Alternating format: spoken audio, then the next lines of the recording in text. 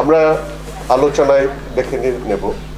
জাতিসত্তার কবি আমাদের অনুপ্রেরণার বলব যে সব দিক থেকে যিনি অনুপ্রেরণা দিয়ে থাকবেন কবি মোহাম্মদ নুরুল হুদা। শুনতে পেলে হবে না। শুধু শুনতে পেলে হবে না, আমি আপনাদের সামনে একটা কাগজ তুলে ধরেছি।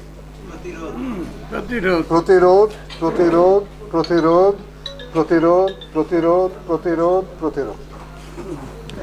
আজকে আমার সর্বশেষ ফেসবুকের স্ট্যাটাস যারা দেখেছেন, তারা এই পৃষ্ঠাটি কিছুটা দেখেছেন, করতে পারেনি লাইভ হতে পারে। আমি অন্য কোনো কথা বলব না এই সম্পর্কে আপনাদেরকে জানাব। দেখতে পাচ্ছেন, একেবারে নিরেট গদ্যে লেখা প্রতিরোধ, দ্বিতীয় সংখ্যা, ছয় মার্চ উনিশশো একাত্তর।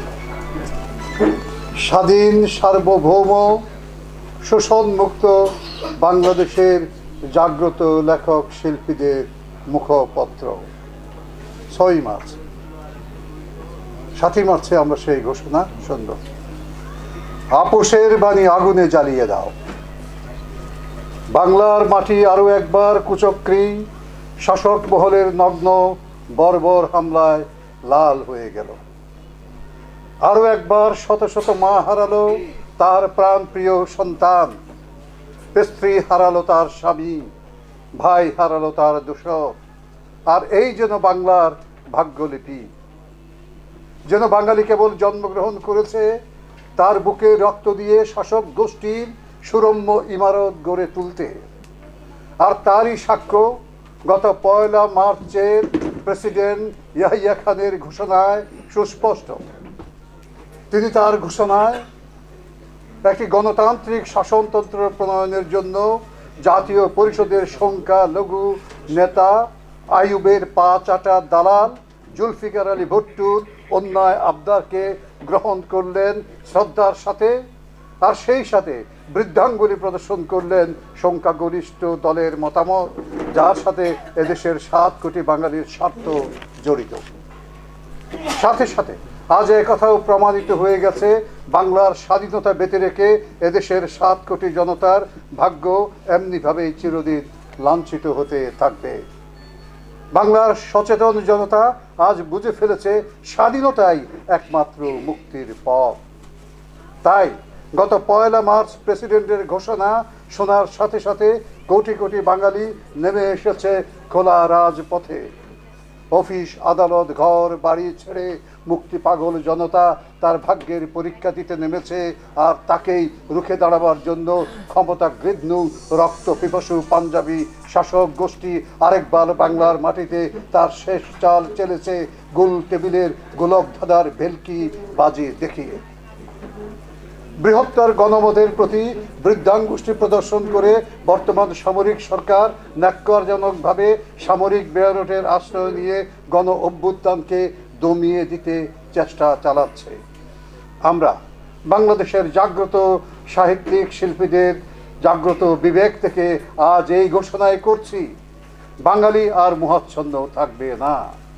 শোষণহীন, রোদনহীন, স্বাধীন সার্বভৌম বাংলাদেশ কায়েম করে বাঙালি আজ নিজের অধিকার প্রতিষ্ঠা করবেই করবে। সাথে সাথে আমরা বাংলাদেশের সকল রাজনৈতিক নেতার প্রতি এই হুঁশিয়ার উচ্চারণ করছি যে দ্বিধা দ্বন্দ্বে আমরা আপনাদের রূপ দেখতে চাই না।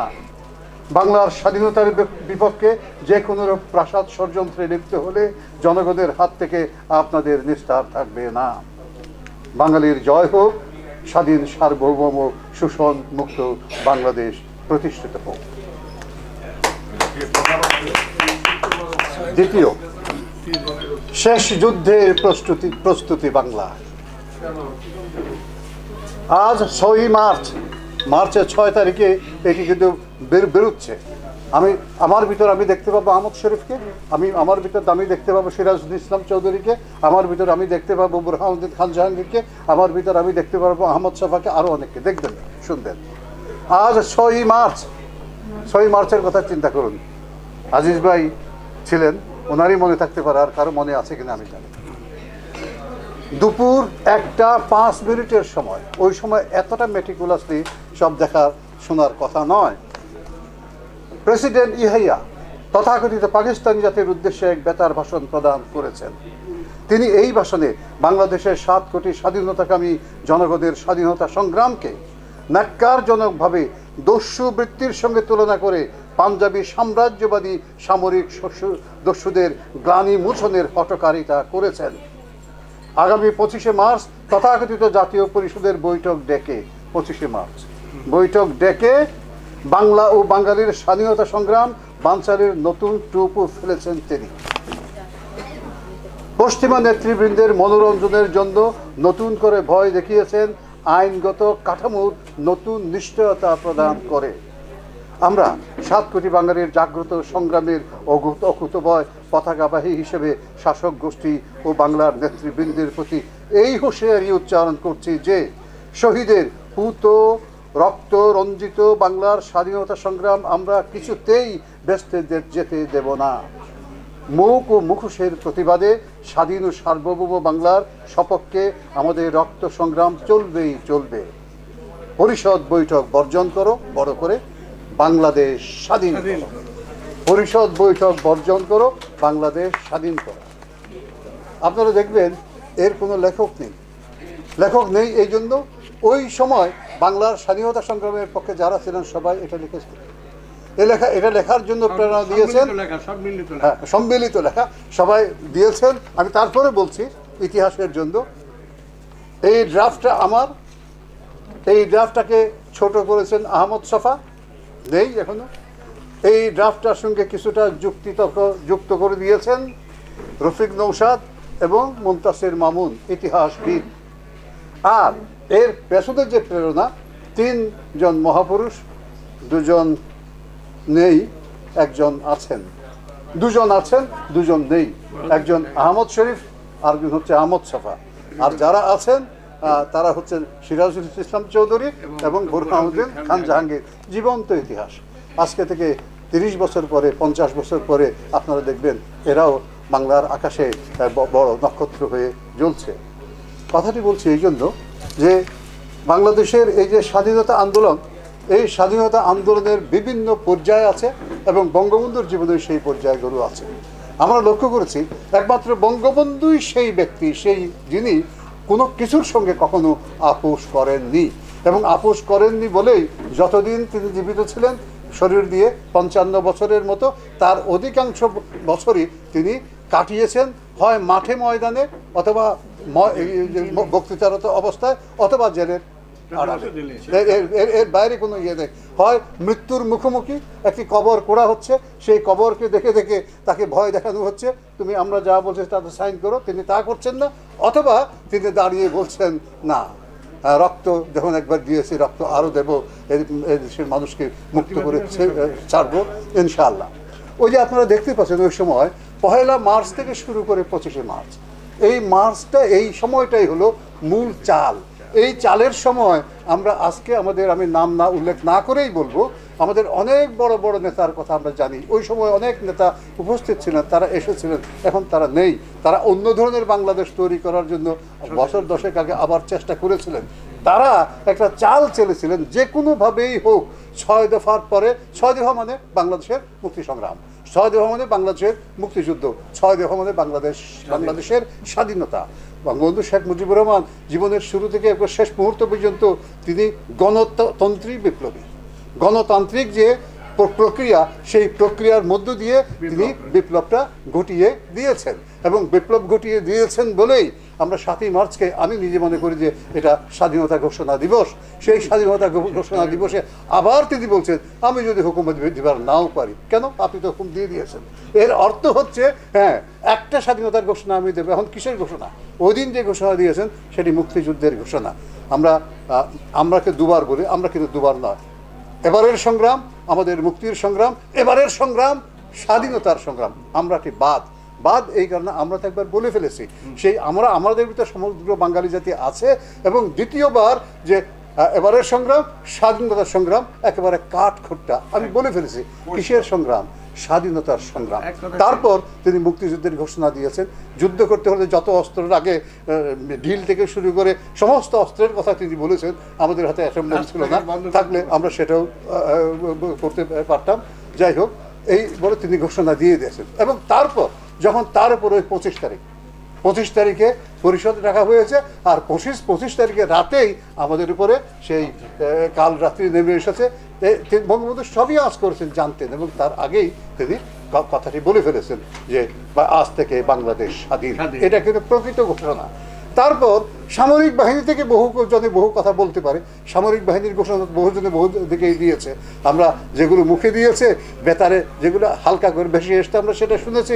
আর যেটা যিনি বলেছেন আমরা শুনিনি সে তারটা শুনিনি। ফলে সামরিক বাহিনীর কোনো পদস্থ কর্মকর্তার কোনো ঘোষণা সেটা আপনি আদেশ পালন। সেটা হচ্ছে বঙ্গবন্ধু শেখ মুজিবুর রহমানের আদেশ পালন আদেশ পালন করার জন্য এই ঘোষণা। কিন্তু তারও আগে আমি বলব, আমরা, আমি শুনেছি, আমি গ্রাম বাংলায় গিয়ে করে কান লাগিয়ে যে শুনেছি সেটা হান্নানের কণ্ঠে শুনেছি। হান্নানের কণ্ঠের পরে অন্য কণ্ঠগুলো আমি শুনেছি। কাজেই আমরা জীবিত, আমাদের কান জীবিত, আমাদের মন জীবিত, আমাদের স্মৃতি জীবিত। এবং বঙ্গবন্ধু যখন সা- ছয়ই মার্চে, সাতই মার্চে বক্তৃতা দিচ্ছেন, এই আপোষের বাণী আগুনে জ্বালিয়ে দাও বা বাংলাদেশ স্বাধীন করো, এই নিয়ে আমরা অন্তত তিন থেকে চারজন। আর দুজনের নাম আমি বলছি খালিকুজ্জামান ইলিয়াস। একজন এখন জানেন খালিকুজ্জামান ইলিয়াসকে আখতারুজ্জামান ইলিয়াসের ছোট ভাই। নিজেই বাংলাদেশে বাংলা একাডেমি পুরস্কার প্রাপ্ত একজন লেখক।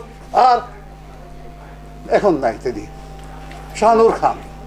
তাকে মোটা শরীরের অধিকারী, তার মতো প্রতিবাদী কবি আমাদের সমাজে খুবই কম জন্মগ্রহণ করেছেন। তিনি, তিনিও কিন্তু আমাদের মাঝকে, মাঝে নেই।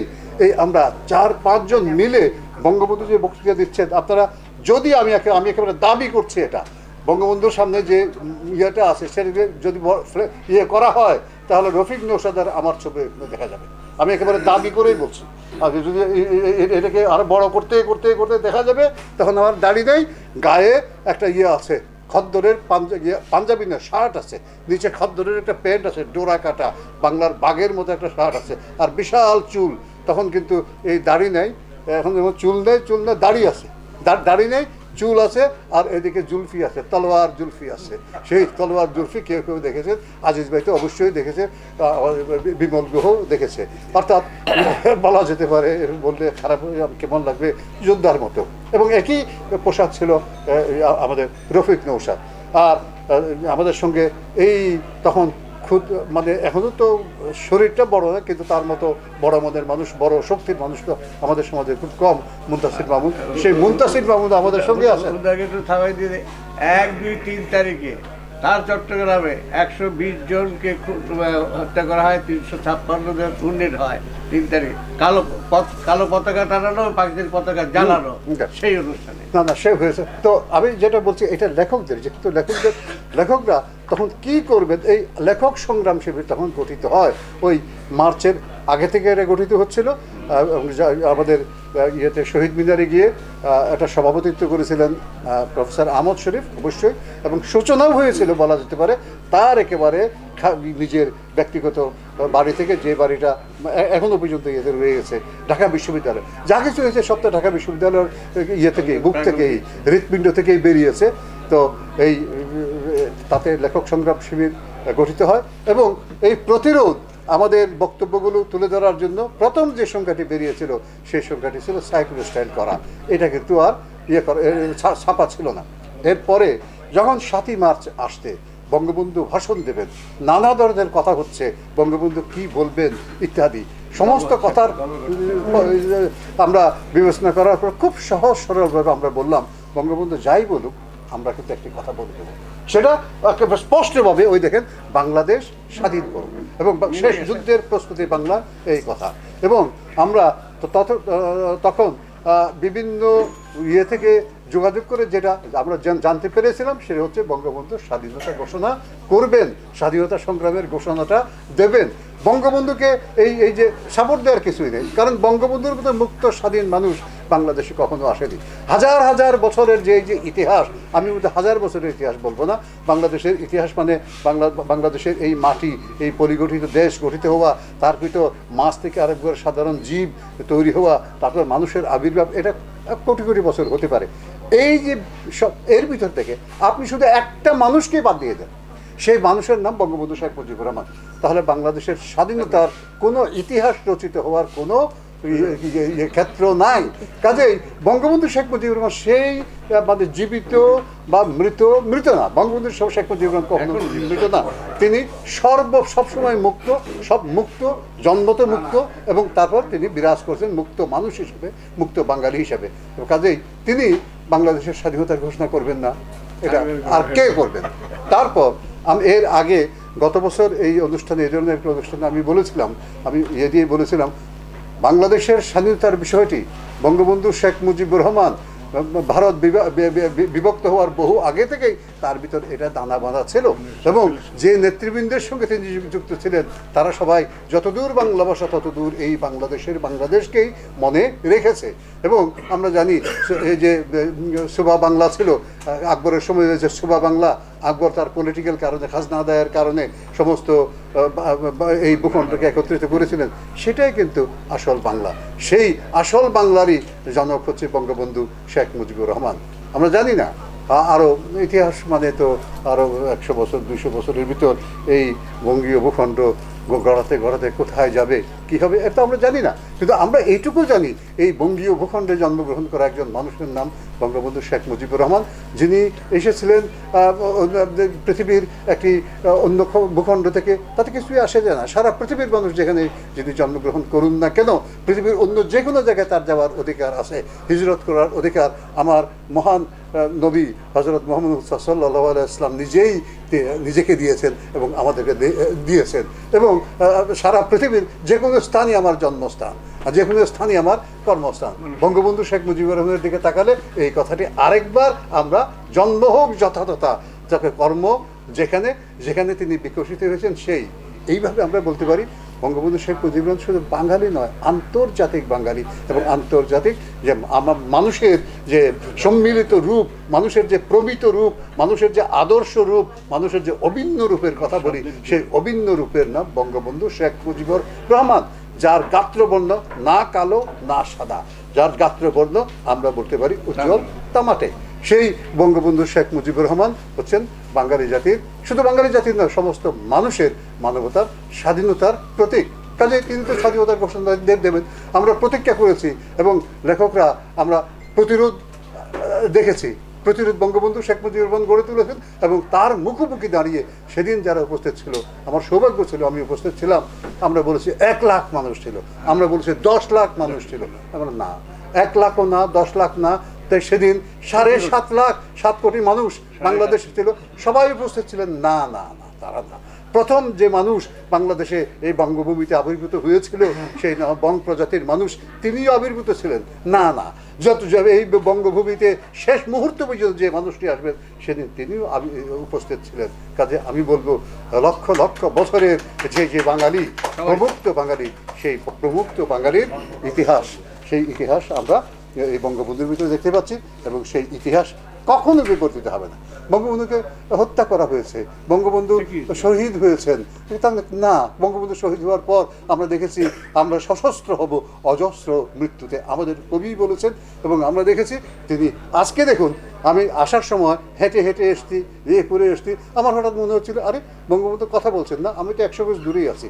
আমি বঙ্গবন্ধুকে যেদিকে যাই কোথায় খুঁজে পাই না, তার মধ্যে কোথায় খুঁজে পাবো না? আকাশের দিকে তাকাই বঙ্গবন্ধু দাঁড়িয়ে আছেন, গর্জন করছেন। মাটির দিকে তাকাই বঙ্গবন্ধু গর্জন করছেন রিক্সার উপরে বঙ্গবন্ধু গর্জন করছেন। আমি পাশে পাশে ফিরে দেখি বঙ্গবন্ধু বলছে, এই যা, অনুষ্ঠান হচ্ছে, আমার কথা তোকে বলতে হবে।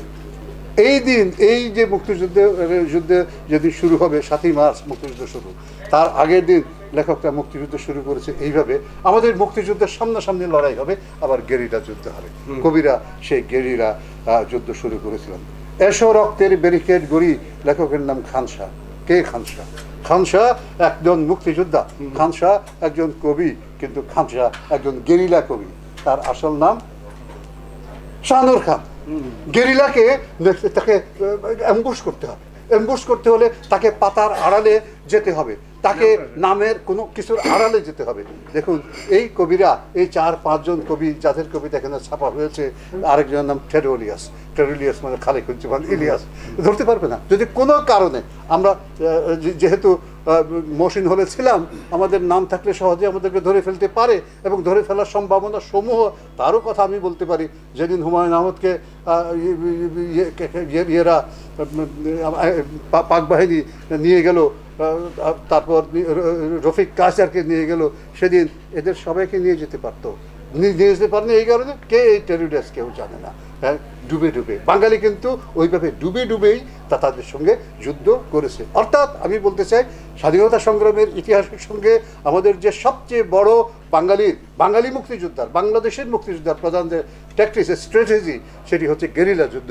সেই গেরিলা যুদ্ধ আমরা শুরু করেছিলাম। এসো রক্তের ব্যারিকেডগুলি লিখেছেন খান শাহ। অর্থাৎ শাহ নয় এটা হলো শানুর খান। লিখেছেন টেরোলিয়াস তিনি খালিদুজ্জামান ইলিয়াস। লিখেছেন সাতকার, আর তিনি হচ্ছেন সাজ্জাদ কাদির। লিখেছেন মুদনুল। নামটা আপনারা অনুবাদ করতে পারেন। মুদনুল মানেই অনুবাদকে অনুমানকে অনুবাদ কি করা যায়? হয়তো করা যায়। আপনি যদি অনুমান করতে না পারেন, তাহারা তাহলে আমার প্রকাশিত গ্রন্থ থেকে এই কবিতাটি আপনারা আপনারা পাঠ পাঠ করতে পারেন। আমি এই কবিতাটি পাঠ করে আমি শুধু বলতে চাই, সাতই মার্চের যে যুদ্ধের ঘোষণা, সেই যুদ্ধের ঘোষণার সময় বা তার প্রাক মুহূর্তে যে কবিতাটি লিখিত হয়েছিল, সবাই লিখেছেন, যার যার কবিতা তিনি বলবেন কিন্তু আমি এই মুদনুল যে কবিতাটি লিখেছিলাম সাধারণ কবিতা, সেই কবিতাটি আমি আপনাদের পড়ে শোনাচ্ছি এবং এই কবিতার একটা লাইন আমরা আবার শেষে ইয়ে করেছিলাম যে, এটাই বাংলার হাতে স্বাধীন লাটাই ঘুরে। বাংলার হাতে একটা ঘুড়ি উঠছে, সেই ঘুড়িতে যে স্বাধীনতা, সে স্বাধীনতার দড়ি আমরা ছেড়ে দিয়েছি। এই স্বাধীনতাকে আমাদেরকে গুটিয়ে আনতে হবে, হাতে নিয়ে আসতে হবে। এটাও কিন্তু আমাদের একটা স্ট্র্যাটেজিক বক্তব্য। জীবন এখন জীবনের বিনিময়। নগর আকাশে উঠছে মাতাল ঘুড়ি। বাংলার হাতে স্বাধীন লাটাই ঘুরে। স্বাধীনতা শুধু স্বাধীনতা আজ আঁকো, স্বপ্ন নীলিমা ভাঙে জীবনের ভরে। যে মায়ের মুখ জন্মেই তিরোহিত, বহতা শুনিতে আঁকো তার মুখ ছবি কাশফুল সাদা জননী আঁচলে আজ জড়াতেই হবে প্রকুষ্ট নীল রবি। তুনিরের মতো জাগে এ রাত্রি জাগে, বর্গি তাহলে বুলেটের ভিন নাম। সন্তান ফুসে এখন গর্ভাশয়ে, তুনির বদ্ধ তীরের আছে কি দাম? হন্তার কাছে হত্যার অভিযোগ অবাক বাংলা, হতবাক সুতবু নয়, অস্ত্রে অস্ত্রে প্রতিশোধ হবে জীবন এখন জীবনের বিনিময়। সে জীবনের বিনিময়ে আমরা জীবনকে লাভ করেছি। ধন্যবাদ।